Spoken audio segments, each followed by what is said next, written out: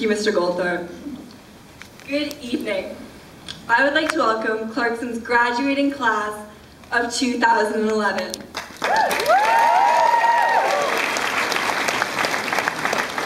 Four years ago, this night seemed at least a million years away, and yet, here we are.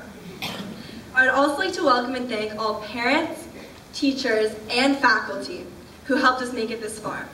I can say with 100% certainty that this room would be completely empty if it weren't for the endless hours you spent making our lives as easy and sometimes as difficult as possible.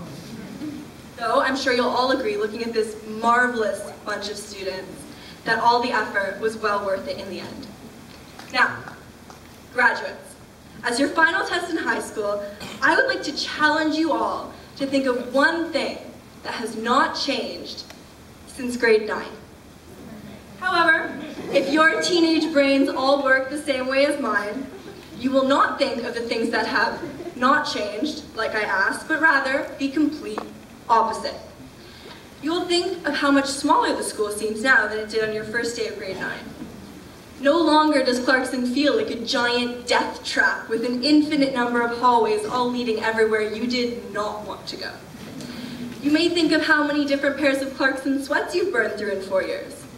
You may think of how many best friends you've burned through in four years. and although Miss PB threatens to fail us if we use the word different in our work, there really are more than enough things that are different now than they were at the start of our journey through Clarkson.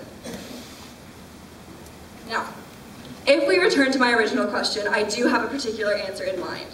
One thing that has remained a constant throughout high school is essays. Uh, specifically, the classic five-paragraph essay, Thank You, History, Moderns, and English Department. I know that may seem like a pretty anticlimactic answer, but bear with me. You may be surprised. You see, the process of writing an essay is a lot like the process of going through high school. You start by writing your introduction, grade 9. You're just trying to get all of your ideas in order, and you really have no idea how the rest of the paper is going to go. The introduction is always the hardest to write because there's a learning curve, just like in grade 9. We were all scared little boys and girls. We didn't know our way around. We didn't know what a cancer drive was or how to dress for spirit days. Like our essay, it was all just a giant mess of information that we furiously tried to organize in an effort to make it into something we could actually understand. After the introduction of an essay, the first paragraph is a piece of cake. So in grade 10, we all walked around as if we owned the school. We stuck up our noses as if to say, yeah, I made it through grade 9, I can do anything. But we were obviously way too cool for spirit days and looked down upon those fresh little niners with a mixture of contempt and pity, somehow forgetting that only a few short months ago we had been in their shoes. Third paragraph, it's almost as easy, but by now you're starting to scramble a little bit for ideas. And I'm pretty sure all of us can relate to this. It's the end of grade 11. You've worked harder than you ever have in your whole life studying for your final exams. After what seems like a lifetime of what I like to call the three C's of exam week, crying, cramming, and counting the days until the torture is finally over, you hand in your last exam. You feel like you're on top of the world for about five minutes when it hits you we still have a whole other year. When will this madness end? Fortunately though, we quickly forget about this madness as we are distracted by the wild and incredible experience that is the senior year of high school. Which brings us to our final body paragraph in the essay that is Clarkson, grade 12. Before it even begins, everyone knows that it's a big deal. There's an energy about it that's totally unlike grade 9, 10, or 11. I recall walking through the front doors on the first day of school and thinking, wow, this is it, the final year. It was the first day of one of the most outrageous years of our lives, starting right off the bat with grade 9, 12 activity day where we all had the opportunity to show those terrified grade 9s that high school doesn't have to be scary. Although I'm not sure how convinced they were after we made them piggyback each other around, crawl between each other's legs, and be involved in all sorts of other ridiculous shenanigans. Of course, I'm positive that you all signed up for Grade 9-12 Activity Day to pass on your elderly wisdom, and not just so you could get out of class for the afternoon with an excuse to play outside. That was the first day where I truly noticed how we, the class of 2011, were starting to come together. It showed especially during football season, when our outstanding Chargers tore up each and every field they walked onto.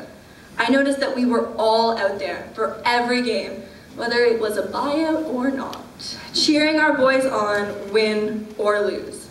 And we were all over the moon when our girls flag football team brought home the first ROPSA gold medal in over 13 years. This year also marked an exciting year for the drama department when our dramatic Chargers took the stage by storm, making it to regionals with their fantastically hilarious rendition of Take Five. Over the course of the year, it was as though we all started to become more like a family. The social groups that seemed to define and segregate us all throughout the previous three years became less and less noticeable. It was obvious during March Madness when every day, consistently, we were the ones wearing our jerseys, dressing like celebrities, and showing the most CLK spirit out of any of the grades.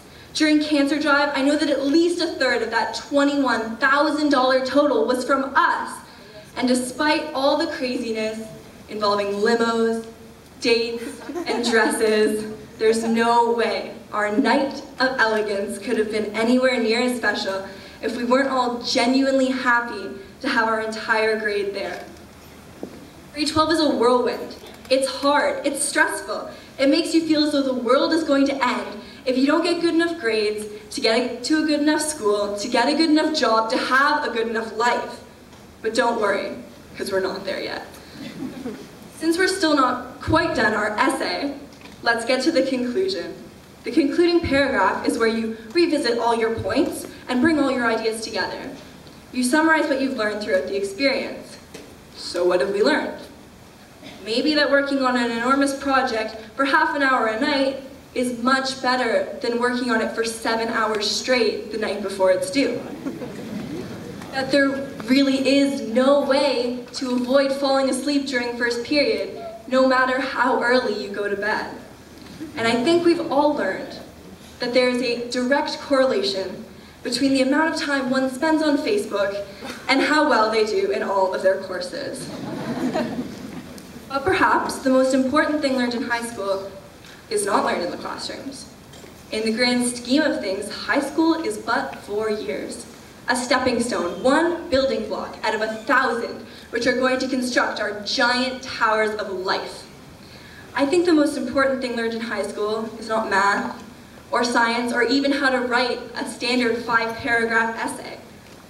It's learning that real life is waiting for us right outside of those doors. Standing here right now, I can't quite believe that this is the last time we'll all be together. As much as these past four years seemed to drag on while we were doing projects, studying for exams, and writing essays, I feel like I blinked, and now it's all coming to an end. We're all headed our separate ways, some near, some far, but no matter where we end up, I know that the four years spent at Clarkson will not soon be forgotten, because as much as some of us would like to deny it, Clarkson helped shape each and every one of us into the people we are today. The building block with chargers written across it is an important part of the foundation in all of our giant towers of life. So, as the final concluding point in our essay and in the speech, I would like to leave you all with a piece of advice that could not be said any better than by the great Dr. Seuss himself. Chargers, be sure where you step. Step with great care and great tact. And remember that life is a great balancing act. Just never forget to be dexterous and deft, and never mix up your right foot with your left. And will you succeed? Yes, you will indeed. 98 and 3 quarter percent guaranteed. Chargers, you'll move mountains. We are the class of 2011 and that's never going to happen again. Congratulations, grads. Take this all in and go find your mountains. Thank you.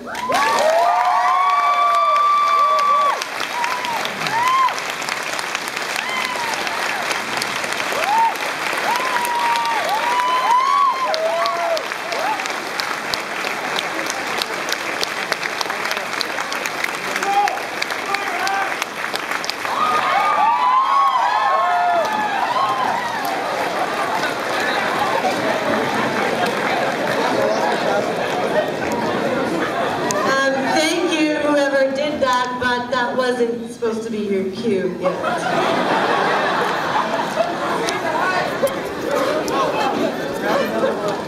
Anna, thank you. You did an amazing job representing your peers this evening, and I have something I want to present to you on their behalf.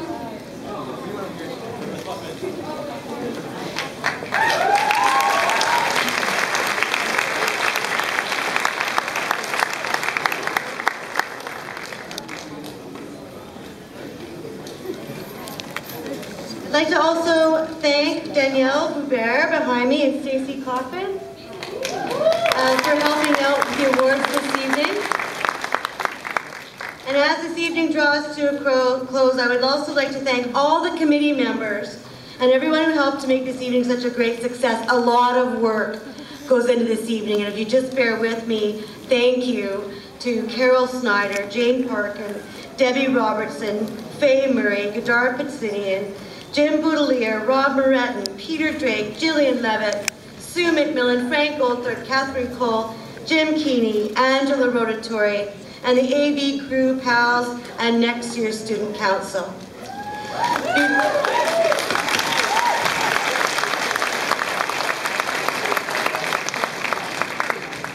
Before we have the recessional, I would also like to invite you to join us for refreshments in the front foyer and in front of the library. So be able to use both doors at the end. I would ask now that you please rise and honor our graduates by remaining at your seats as we formally leave you this evening. And now I was going to say, ladies and gentlemen, may I present to you the grads of 2011.